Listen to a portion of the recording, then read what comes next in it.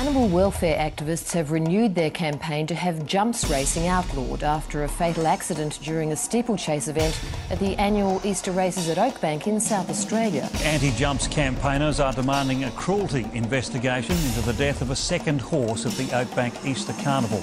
Racing officials are under attack after the belated discovery that a second horse died in jumps racing at Oakbank. What do you think the highlight of um, today will be? Oh, getting through our jumps races with no horses tipping over.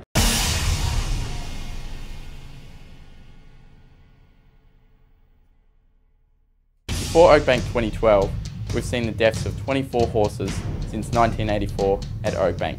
This year, we saw another two. We saw Virvacity fall and be killed in the Von Doussa steeplechase, the very race that he had championed only years earlier. On the second day of racing, we saw the running of the Great Eastern Steeplechase. During this race, we saw Thomond Park fall violently and narrowly escape death. Two other horses were also retired during the Great Eastern Steeplechase. Art Success suffered a fractured pelvis, was walked off the course and killed where no one could see. And as a result, the RSPCA have launched an investigation into the death of Art Success. The Animal Welfare Act of South Australia clearly states that any person who intentionally, unreasonably, or recklessly causes an animal unnecessary harm is guilty of an offence.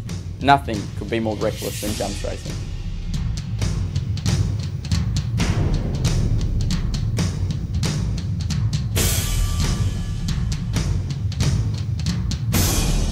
There's no denying, Oakbank 2012 was a disaster not just for the racehorses, but for the reputation of the carnival. We've got the public hating on jumps racing, the media questioning why it still continues, and the RSPCA launching an investigation. We're planning to make Oakbank 2012 the last Oakbank that features jumps racing.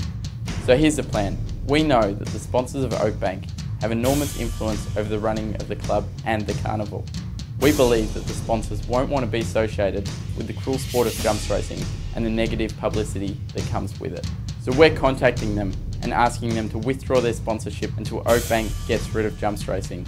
We believe the carnival can flourish without jumps racing and people can come along without having to worry about witnessing the public executions of racehorses.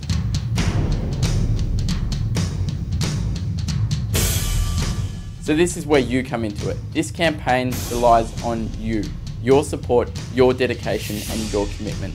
We need you to go to our website. All of the sponsors are listed there. Let them know how you feel. Tell them you want them to pull their support of jumps racing. We believe that they actually feel the same way, but until they voice their opposition to it, then we have to assume they support it. Phone, email, snail mail, Facebook, Twitter, whatever you got to do let them know that you don't support it and you want them to withdraw their support of jumps racing. Share this video, tell your friends. Together, we can do this. We can't let up and we must make sure that Oakbank 2013 doesn't have jumps racing.